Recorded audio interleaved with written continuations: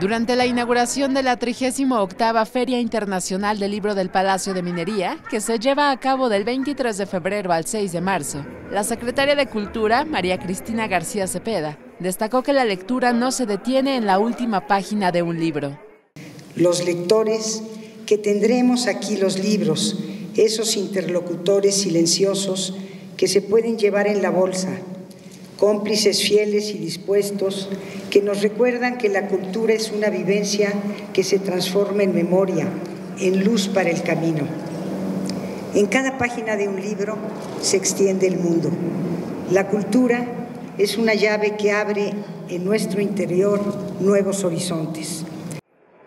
Carlos Anaya Rosique, presidente de la Cámara Nacional de la Industria Editorial Mexicana, detalló que la editorial es una industria creadora de bienes para el desarrollo y la convivencia social.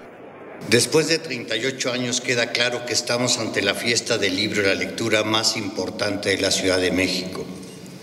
A lo largo de casi cuatro décadas, nuestra ciudad ha vivido incontables sucesos tanto políticos como sociales y culturales, y este inmenso recinto histórico sigue viendo pasar a generaciones de lectores que esperan con entusiasmo este acontecimiento donde la palabra y las ideas reinan a plenitud.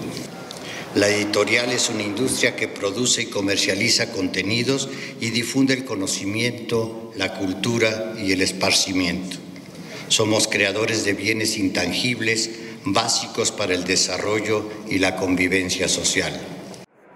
Con más de 1.495 actividades y teniendo como invitado de honor al Estado de Querétaro, la filminería fue inaugurada por el rector de la Universidad Nacional Autónoma de México.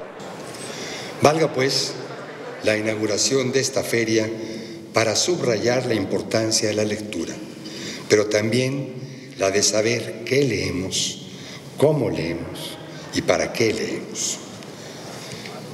Y si esto es cierto en todo el mundo, lo es cierto aún más para México. Nuestro país está urgido de que los mexicanos lean, interpreten lo leído y tengan una opinión informada y universal del mundo que nos rodea. Con información de Juan Carlos Castellanos y Ana Karen Alvarado e imágenes de Raúl Monroy y María José Palma. Notimex.